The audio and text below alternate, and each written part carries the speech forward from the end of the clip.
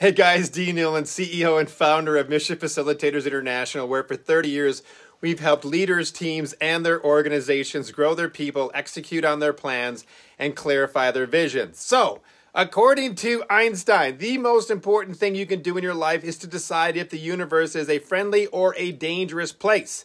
So, therefore, it goes without saying that the toxic leader has decided probably that the world is not safe. So, therefore, what can we do to keep our sanity around a toxic boss?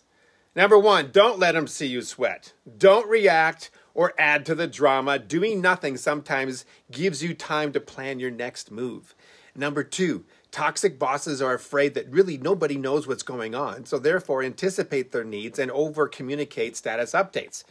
Number three, upload, or I should say, download your frustrations to your friends and family. Ask them to listen, empathize, but not to solve your problems. The last thing that you need is an armchair quarterback. And then number four, have a life. Go play. Focus on the areas in which you are grateful.